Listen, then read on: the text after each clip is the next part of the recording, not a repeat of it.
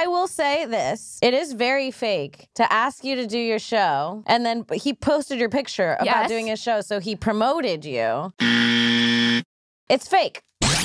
Hey guys, originally I was gonna put this out, but yesterday Kim Congdon went crazy and turned into a total Karen by trying to get me and my friends canceled. He broke me. He broke. So I figured I would share not only what the latest developments were, but also the text conversation that we had over Instagram DM. I really do think it needs to be called out because when she's calling people to tell them that they shouldn't have my friends on shows, what she needs to remember is everything she does is bigger than her. She is not the star of anything. When it comes to Kill Tony, Tony is the star of that. So if she decided not to do Kill Tony anymore, there would be no consequence to Tony. When it comes to Legion of Skanks, she could completely stop doing Legion of Skanks. It wouldn't change Legion of Skanks. Roast battle. Most roast battles happen without her. So it's not even like she's necessary to any of the people that she's trying to threaten when she tries to get me taken off shows. What did bother me though was she tried to get one of my friends who was actually very funny and doing her own thing taken off a show because she shared the video that I made for Instagram, which really doesn't make sense at all because you never know why someone's sharing something. Sometimes people agree with the sentiment and don't know the players involved. I personally know that does not know Kim Congdon, and that was not meant to be a slight at Kim Congdon. She just agreed with what I was saying in the video about some of the dynamics and thought that was worth sharing. Because what you have to remember is there are a lot of people that are within the comedy industry and get tired of the same things I'm tired of when I'm talking in these videos. And Kim Congdon should be more concerned with the fact that she's not doing well at the mothership than she's concerned with the fact that I mentioned that she's not doing well at the mothership.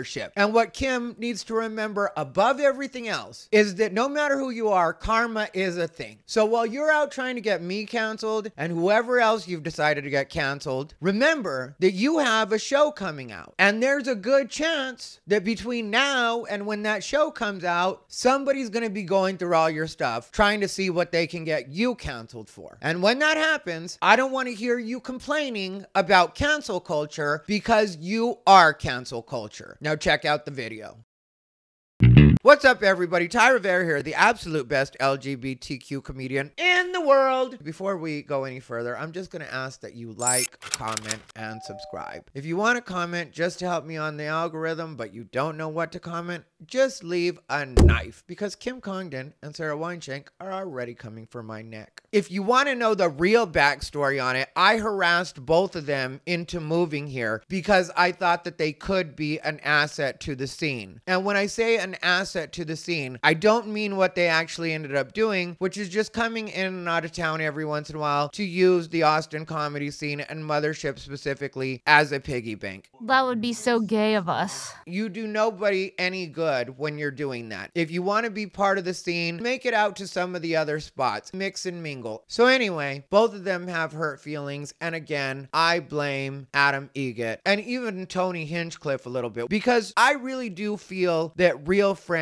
tell you the truth. And they both need to know that their performances at the Comedy Mothership have not been up to snuff. And I'll tell you what they sent me, exactly what they sent me, because I do feel like it's important to be accurate in the way that I talk about things and the things that I say. So we'll start with Sara because that was pretty quick. Sara just sent, hey, kind of you're dragging me online when I've only ever been nice to you and went out of my way to do your show and always show you love. You've also come up to me and told me I've had good sets. I don't want to be on bad terms with you, but this seems really fake and unnecessary. So I responded with, not fake at all. You know you have work to do, and if you don't, you're not being honest with yourself. I appreciate you doing the show, and I told you that. I even had Hooch walk you back, but you don't do well at Mothership, and that's a fact. Maybe record your audio from your sets and be honest with yourself about how it's going. We're not on bad terms, but I'm 100% done pretending things are something other than what they are. Lastly, don't ever mention being nice to me like that's a favor. I'm nice to you as well, and I'm definitely not clamoring for you to be nice to me. And that's really the way I feel about it. I also think it's silly that she thinks that because I told the truth that I was dragging her. I'm not dragging her at all. And technically, I don't tell her she has good sets. What I usually say to her is I give her the big eyes, as big as my eyes will go, and I'll be like, fun set. When I say fun set like that to somebody, that's me being as nice as I can be and acknowledging the fact that you did have a set and it probably was fun for you. I'm not saying that it completely wasn't fun for the audience, but maybe I'm old school, but I just like to see people kill it in actual shows. So here's what happened with Kim Congdon, Miss I'm So Secure in Myself. She really did make a fool of herself tonight because I was just enjoying my evening. I stopped by the creek and I did the open mic. I'm going to be honest, absolutely destroyed it. Anybody that was there tonight will tell you it's just the way it went down. So Kim hit me up with a clown emoji on one of my stories, which I also know for a fact because friends have told me that Kim and Sara sent them text messages because some of them liked my reels that I put up. And what these girls don't get is these people aren't even necessarily saying they agree with what I'm saying. They're just comics. I put things in a funny way, and the way I did the edits was also entertaining for some people. So they were just liking it on that level. They weren't necessarily saying they agree with me, but these two try to turn it into that because they're trying to do this thing where they think they're going to be able to get me blackballed or blacklisted or whatever. And it's like you're both trying to do your own version of cancel culture while pretending to be anti cancel culture. So you guys can do that all you want to, but I need to spend more time editing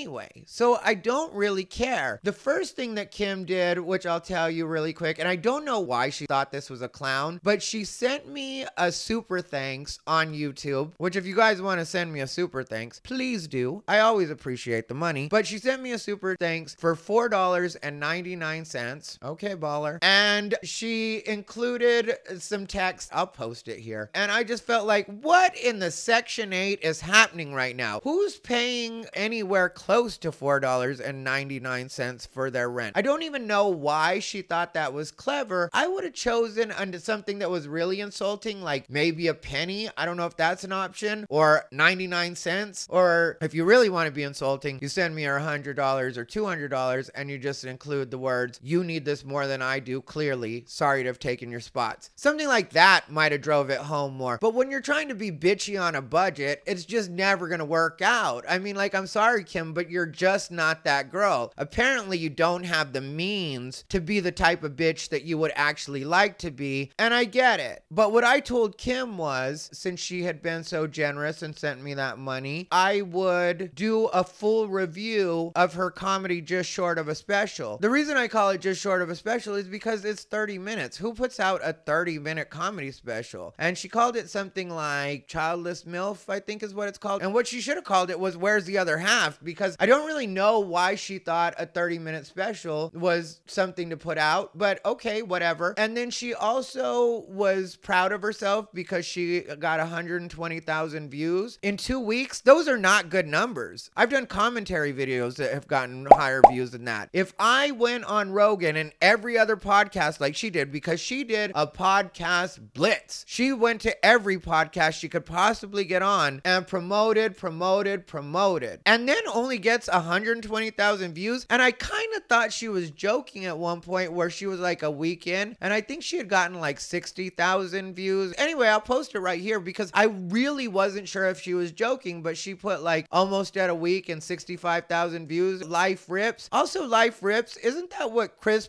Ophelia used to say all the time? But anyway, neither here nor there. And I was like, 65,000 views in a week for a special? I would not be proud of those numbers at all. I would not even want to talk about that. I wouldn't even want to mention that I put out a special at that point. I'd be like, you guys, let's change the title of this and just make like it didn't happen. I might even consider taking it down. I mean, like a special? Not just a comedy video, but like a special. Okay, whatever. To each his own, to each her own. So this creep was going through my stories, and then on one, she went ahead and put the clown emoji. And I'm like, why is this creep sending me a clown emoji right now? And I was at the the creek sitting with friends at the time. I'm talking with a group of friends, enjoying my life. It was a nice night tonight. But I did want to entertain this only for the screenshots. So I sent back, glad to know you're so easily shaken. And then I also sent a clown emoji because I don't care. I am a clown. You don't get a tattoo like this and then get offended by somebody calling you a clown. She put quaking. And then I sent, use this time to write jokes instead, which I really feel like she should do is just write some jokes. Stop with whatever you're doing right now and work on your actual set. My words really should have inspired you. But let's go on. So she put, you'll have plenty of time to do that because you won't be getting much stage time. LOL, LOL, LOL. Three LOLs. What are you going nuts right now? Or is that the ha ha ha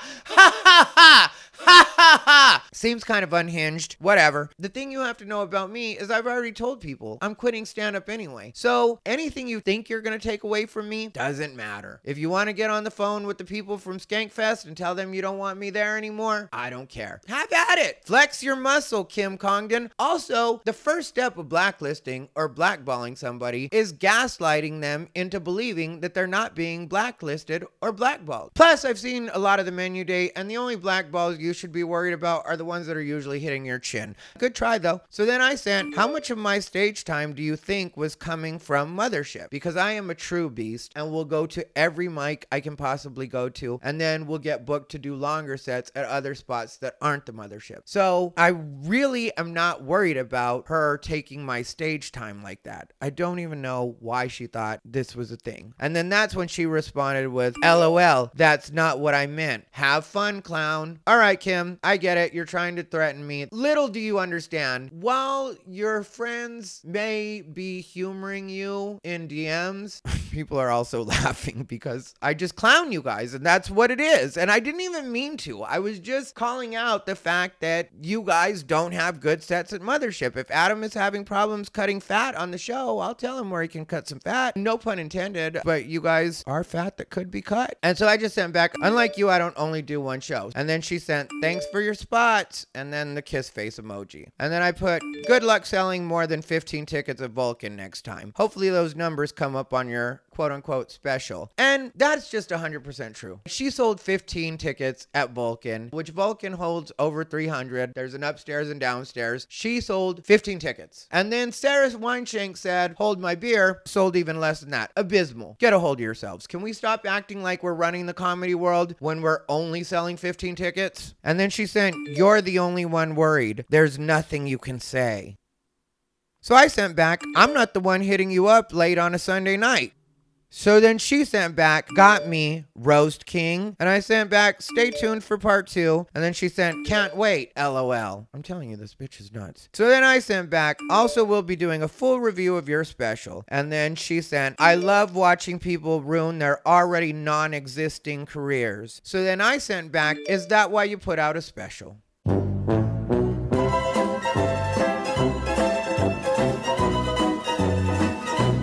So anyway, she put get more tattoos and keep being a spiteful little bitch. I'm sure it'll fix whatever's going on mentally. LOL. You only picked on a woman because anyone else would beat your puny little ass. Laughing emoji. Pussy. I'm a gay man. Do you think I'm offended by the word pussy? Also, she's right. I did only mention her and Sara Weinshenk. They were the two that popped in my head. Jeffrey Burner is always eating hot shit at the mothership. And I love Jeffrey Burner. I'm very friendly with him. We often talk about working out and we've had some good chats, but Jeffrey Burner could go too. Maybe drop him down to one spot. I'm not saying any of these people shouldn't get any of these spots, but you have to remember there's 80 spots in a week. Adam says that he's not able to book all of us, and I'm not the only one that he would occasionally give weeks off because he didn't have any room for us. But if you're giving Sara Weinshenk four spots and you're giving Kim Congdon four spots, and then let's say you're giving Jeffrey Burner even two spots, that's 10 spots right there. Drop them all down to one. Then you'll have seven spots left over, and you can put up some of the other comics that actually deserve to be there and actually treat it like it's what it is a paid show. And maybe we're not Adam's best friends. Maybe we don't party with Adam and Tony Hinchcliffe, but you'd have a much better show. And that's a fact. So when I respond to her on that, it was when she said, I'm sure it'll fix whatever's going on mentally, lol. So I responded with, again, I'm not the one messaging late on a Sunday night. How am I the one that's mentally unbalanced or going through some sort of mental issue when you're the one that's hitting me up in DMs of all places? Because if this were happening on my actual thread of one of the videos that I had posted, I could understand because it might serve as promotion for her. And if she had her roast lined up, technically she could have just barraged me and possibly gained some new fans or made her fans hype to go watch her special and hopefully get those numbers up. You're not even thinking like somebody who has something to promote, Kim. You're literally acting like a psycho in my DMs right now, especially with all the LOLs and laughing emojis that just make you seem like a crazy person that really has no point. I don't even know what's happening. And then she sent, huh? You're literally too stupid to argue with, LOL. And I just sent back, you're bothered, Kim. And then she sent, bye, Ty. And the best part is, she had just called me too stupid to argue with. And then she spelled bye, B-Y, when she meant B-Y-E. And then immediately after she said bye, Ty, she sent, you're a moron. And then I put, and you're not good at bullying. She said, I don't need to bully you to feel good. Then why are you here? Because I put out some content where I mentioned you and Sara Weinshenk, but you definitely are trying to bully right now. Jeff already been through this with her. She's not good enough to bully anybody at anything. I don't even know why Tony Hinchcliffe made her think that she was a better comic than she was. This really is what happens when you give these people false confidence, is then they run in and they just get zinged because they're not ready. So I just sent back in response to her bye Ty, BYE asterisk. And then she sent, those are your issues. And I said, you don't even know how to spell. And then she said, listen to this sentence. How come you never post with loved ones? Who loves you?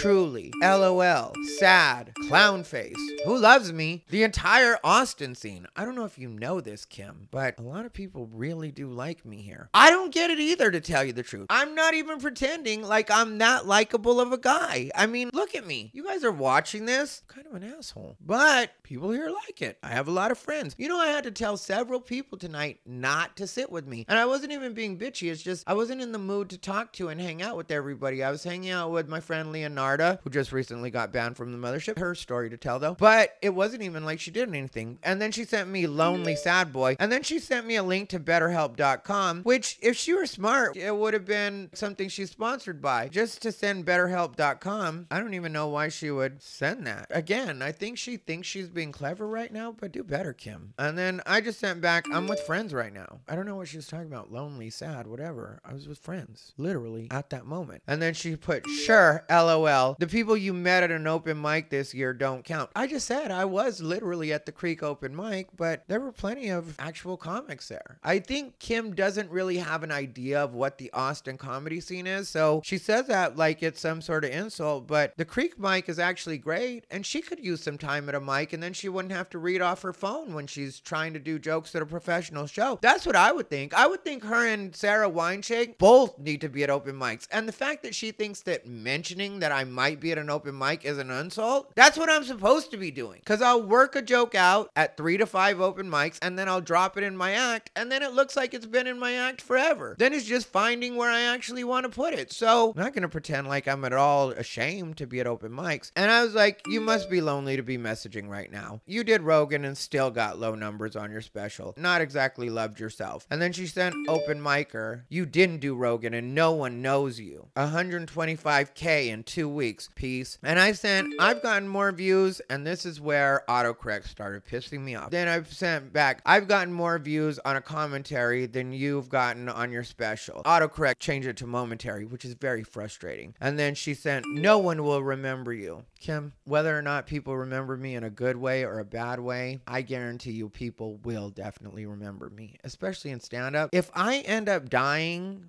being at the level that I'm at right now, you know the way people love to remember the dead, like they loved them like they should have when they were alive. And I hate to break it to everybody, I really am great at stand up. It's just one of those things. And I know it pisses some people off, but it's just a matter of fact. So I'm not worried about whether or not I'll be remembered. I will definitely be remembered. I'm just hoping I hit it big before, uh, but off commentary, I'm not worried about stand up anymore. Like, come on, get a life. And then I sent back, you think 125K is good? Question mark, question mark, question mark, laughing emoji, laughing emoji, laughing emoji. And then again, autocorrect fuck me because I was saying in two weeks. And then it said, I'm two weeks. And then I sent ha ha ha ha ha because I didn't notice that autocorrect had just fucked me. But the point still stands 125K in two weeks is not great for a special. Look at possibly Sam Tallent special or Shane Gillis' special or Jordan Jensen has 425K on hers. So 125 in two weeks, Kim. That's not good. I don't know why you think that's a flex. And then she said, You understand that you are not a draw, which is why you aren't getting spots at the mothership. 15 tickets at the Vulcan, Kim. You're not a draw either. The mothership is the draw. You're Adam's friend. Don't get it twisted, Kim.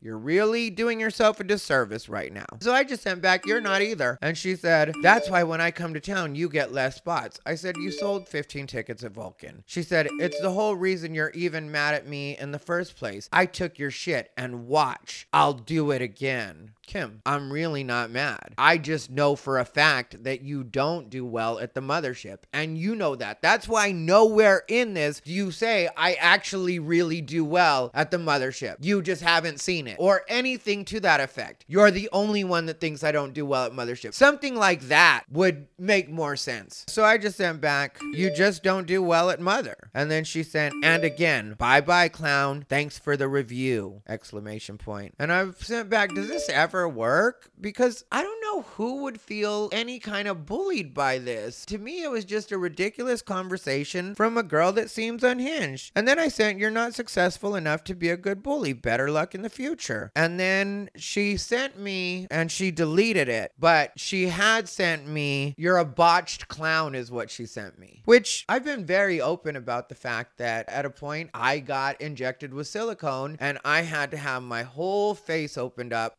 and then take the silicone out because the circulation wasn't going to the surface of my skin. So I started to get a brown spot here. There's still a little bit of. And then while they were at it, they figured that they should try to take the rest out as best as they can. And so for me, calling me a botched clown, I've already told you guys how I feel about being called a clown. Plus, we're comedians, we're all clowns. And putting botched in front doesn't particularly bother me either. It is what it is. I'm a natural beauty, just like you're a draw, Kim. So that's what happened between me and Kim Congdon.